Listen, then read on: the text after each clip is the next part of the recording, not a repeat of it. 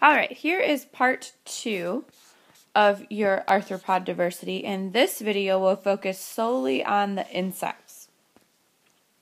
So first up, subphylum Myriapoda. So this are what you commonly know as centipedes and millipedes. It means 10,000 foot. There's two major classes, so Diplopoda is millipedes, Chilopoda is centipedes. They are terrestrial, although they do require moist habitats because they don't have an exoskeleton. So they can't keep the water inside their bodies. So they don't have that waxy covering on that exoskeleton like other animals do. So they need to be in a moist habitat. They have two body segments the head and the trunk. So, a couple key differences between them. So, millipedes are mostly round, and these are the ones that roll into a ball when threatened. Not roly polies, but similar. Now, your centipedes are fast moving. These ones typically have longer legs, those big antennae, and they actually have poison claws. Although it's not poisonous to humans or not enough to do damage to humans. And they are predators.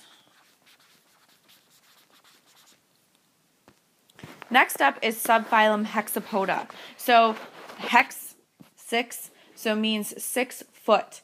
They are the most successful land animals in terms of the number of species and the individuals. Their bodies are divided into three tagmata, which are those divisions that all arthropods have. They have five pairs of head appendages, and then they have three pairs of legs on the thorax. Also, as you notice here and here and here, many have wings.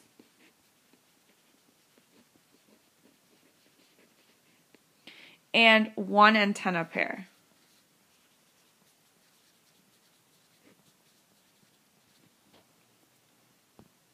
So, class Insecta is what we're mostly going to focus on. So, class Insecta, there's actually 30 orders within this class. An adult insect is characterized by a few major things. So, first of all, the body is divided into a head, a head, a thorax, and an abdomen. They have three pairs of legs, so you see one, two, three, and two pairs of wings, so kind of an upper and a lower. Their head has a single pair of antennae that we talked about. They have all those varying mouth parts. They have compound eyes so they can see better than just animals that have those simple eyes, but they also have the simple eyes. They have the thorax, which has three segments, so a prothorax, a mesothorax, and a metathorax. And then one pair of legs attaches to each one of these segments above. All three of those segments make up the thorax. And then the wings attach at the margin between the meso and the meta. So right in there would be where the wings would attach. So the thorax, say on the grasshopper, is here. The wings are attaching somewhere in the middle, technically.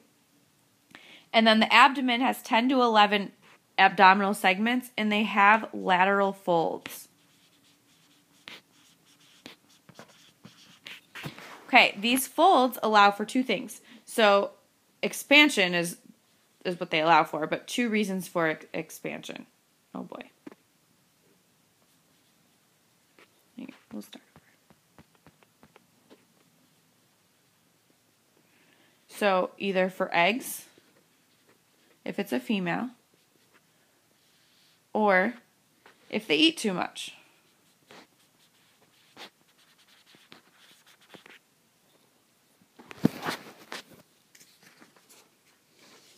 So, insect flight. So, insects are known primarily for their flying, and they use many forms of locomotion in addition to flying. So, they can walk, run, jump, swim, but flight is arguably the most important. They were actually the first animals to fly, which is very important from an evolutionary perspective because you have to think about what flying did for them. They could move, so they could go further places to gather food,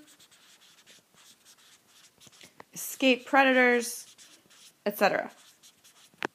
And the wings most likely evolved from outgrowths of the thorax, which is what protects the legs. So they also require thermoregulation, which means they need a 25 degrees Celsius or higher body temp. So a minimum of 25 degrees. And they can use two types of flight. So synchronous or direct flight, or asynchronous or indirect flight. And we'll examine those on the next slide. So here's a way to compare them. So synchronous or direct. Examples to think about butterflies, dragonflies, grasshoppers. These flight muscles act on a wing base and they have a single wing cycle. Okay? The indirect flight or the asynchronous flight is used by flies and wasps. This acts on a body wall.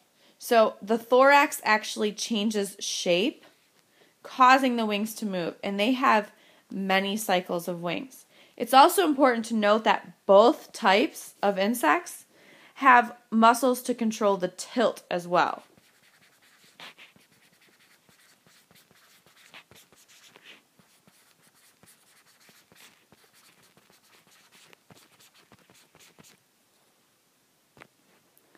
So insect feeding. So I mentioned the mouth parts earlier. So there's five major parts to the mouth of an insect, which you will see in this diagram over here. So first of all, we have the clypeus, which just supports the muscles. So that's right there. The labrum is the upper lip-like structure, so it's important to not get the two confused. So there's a labrum, which is upper, and then a labium, which is lower. So labrum is upper. The mandible, these are the chewing mouth parts. Most people recognize the term mandible. And then maxillae, these have the cutting surfaces. This is what helps chew the food or cut off the food. And then the labium is that sensory lower lip. It's important to note as well that all of these parts aid in food handling. And they are modified because not all insects chew their prey. So they are modified for insects that suck or siphon liquid food or nectar. So their digestive system is a long and straight system, and they also have three parts, similar to other arthropods. So the foregut is behind the pharynx, and that also has a crop used for storage.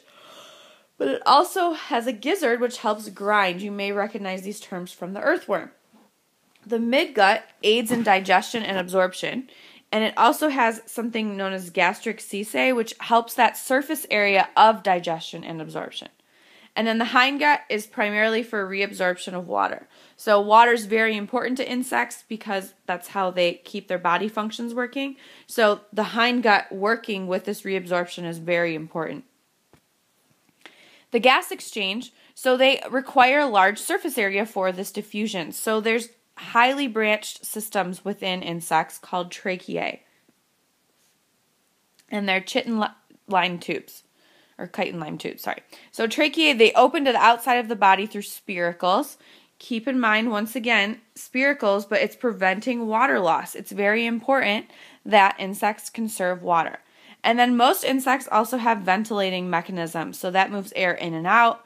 It contracts the flight muscles for some insects. It also draws air up like a vacuum, and it contracts the abdominals like a pump. Insect circulation, once again, relates back to that hemocoel that all arthropods share. They have an open circular circulatory system, but it's important to note that the blood vessels are less developed. So the blood carries nutrients, hormones, waste, and it's not important in gas exchange. So most insects are ectotherms, but some do generate heat using flight muscles. They can actually generate from 0 degrees Celsius to 30 degrees Celsius using their wing muscles. They warm themselves by basking in the sun. So maybe you see more flies in your house, for example, when, on sunny days because they come out and they sit on the windows. Um, and then they cool by going to moist environments.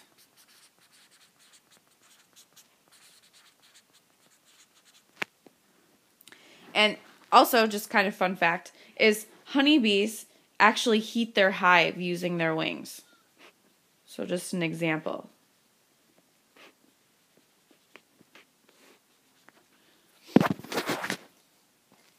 So, sensory functions. Insects are also pretty cool too, and that they have memory and they can learn things. So they have some learning and they can have a memory. They have something called a ganglion, which makes this more possible than it does in other organisms. And they have their sense organs are specialized to function well on land. So bees, for example, recognize flower-like objects, and when they get nectar, they keep choosing flowers that have that same odor. So they have learned that, oh, this looks like a flower. It must have that really good pollen that I found on this other one that looked like this, so I'm going to go here. They can also detect light, so they're capable of detecting light to use it for orientation, orientation, navigation, feeding. And like we said earlier, they have compound eyes, which are very well developed in the adults. So, social insects. So, many insects have very social lives. So, especially those that live in colonies. Perhaps you're most familiar with bees, but also wasps, ants, and termites all have colonies. And each type of individual within is called a caste. So there's three or four types per colony. So here's just a general overview of those types that could exist. The reproductive females are the queens. The workers are sterile, can be male or female, it depends. They're usually female in bees, but in termites they're males and females. You have reproductive males, which inseminate the queen. That's all they do. They're called kings. And then soldiers, which defend the colony. And kind of interesting, soldiers have larger mandibles than the other ones in the colony to help with that defense. But it's important to see that they're also sterile, so they can't inseminate the queen. Only these reproductive males up here can. Jobs are assigned by age. So younger ones stay close to the colony and the older ones leave for food, kind of like in any other social structure of an animal. The younger ones are taught the ways before they're allowed to venture away from the rest of the group. And the queen releases a pheromone to control this system. So if she dies, her royal food, her food, which is known as royal jelly, is fed to other female larvae to develop a queen, and then they will fight to the death to determine who gets to rule. And one final thing is just insects and humans. So, insects kind of have a bad reputation with humans, but in reality, only 0.5% of them negatively affect humans. They provide many valuable things for us wax, honey, silk, and they pollinate 75% of all plants. So, the value of this in the US alone is $19 million of insect pollinated crops. And they do provide biologic control of other things and soil benefits. Yes, there are negatives. They can be parasitic to humans and animals, and they can transmit diseases. But once again, that traces back to really only that 0.5% of insects that negatively affect us.